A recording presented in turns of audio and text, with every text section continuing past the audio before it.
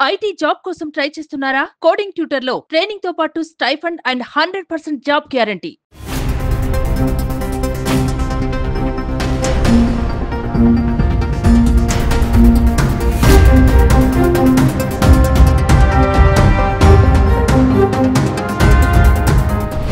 Madhapur N convention hall నిర్మాణ కూల్చివేతలకు సంబంధించిన ప్రక్రియ శరవేగంగా కొనసాగుతుంది. ప్రస్తుతం కూల్చివేతలకు సంబంధించినటువంటి పని అంతా కూడా అయిపోయింది. ఎన్ కన్వెన్షన్ హాల్ అంతా కూడా అధికారులు కూల్చివేశారు.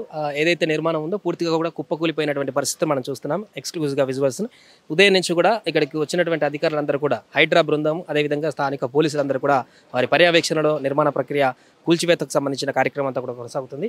సో ఇక్కడ మూడున్నర ఎకరాల పాటు విస్తీర్ణంలో ఉన్నటువంటి ఈ కన్వెన్షన్ హాల్కు సంబంధించినటువంటి వ్యర్థాలన్నింటినీ కూడా నిర్మాణాన్ని కూల్చివేసి ఆ వ్యర్థాలను కూడా తొలగించేటువంటి ప్రక్రియ చేస్తున్నారు. ఇక్కడ చూస్తున్నాం ఇదంతా కూడా తుమ్మిడి చెరువు ఈ చెరువు ప్రాంతంలోనే ఈ యొక్క కన్వెన్షన్ హాల్ నిర్మాణ ప్రక్రియ జరిగిందనేటువంటి ఆరోపణలతోటి హైడ్రా బృందం వాటిని కనుగొని ఈ యొక్క అక్రమ నిర్మాణాలను మొదట నోటీసులు ఇచ్చి ఆ తర్వాత కూల్చివేత ప్రక్రియకు కూరుకున్నారు ప్రస్తుతం చూస్తున్నాం చెరువుకు ఈ బార్డర్కు ఉన్నటువంటి చెరువుతో పాటుగా ఈ వాల్ ఏదైతే గోడ ఉందో అక్రమ నిర్మాణానికి సంబంధించి ఈ వాల్ ఏదైతే ఉందో మధ్యలో గోడకు సంబంధించి ఈ ఈ గోడకు సంబంధించి కూడా కూల్చివేత ప్రక్రియ చిన్న జేసీబీతోని చేస్తున్నటువంటి పరిస్థితి చూస్తున్నాం.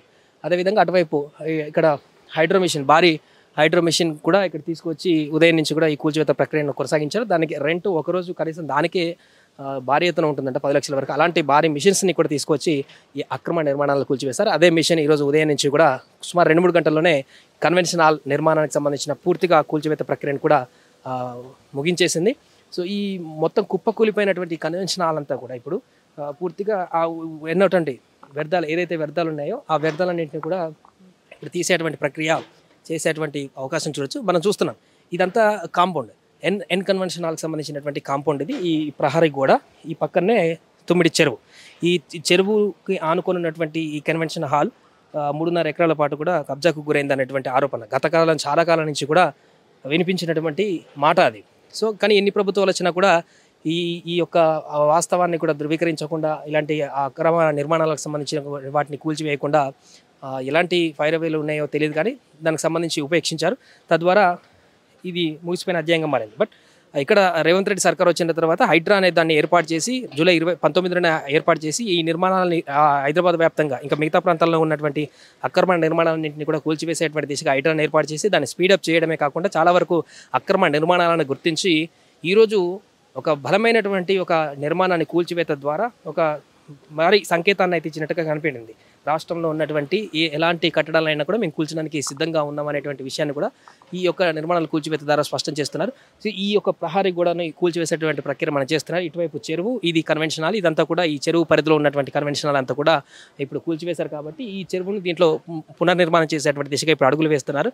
ఉదయం నుంచి కూడా కొనసాగుతున్నటువంటి ఈ అక్రమ నిర్మాణ కూల్చివేత పనులు అయితే శరవేగంగా కొనసాగి ఆల్మోస్ట్ నైంటీ పర్సెంట్ అయిపోయినాయి. ఆ వ్యర్థాలను ఇంకా తీసి ఆ వ్యర్థాలను ఇక్కడి నుంచి తరలించి బయటికి పంపిస్తే ఇంకా ఈ పని కంప్లీట్ అయినట్టే. సో అధికారులు మాత్రం ఎవరున్నారో తెలియదు లోపల నాలుగు వైపులా కూడా పోలీసులు బందోబస్తును ఏర్పాటు చేసి ఎవరిని లోపలికి రానివ్వకుండా ఎక్కువ నిర్మాణాలకు సంబంధించిన కూల్చివేతలని కొనసాగిస్తున్నారు. అండ్ కన్వెన్షన్ మేనేజ్మెంట్ కూడా ఇంతవరకు స్పందించలేదు. అటు అకిరణి నాగార్జున కూడా దీనిపైన ఎలాంటి స్పందన కనబరచలేదు.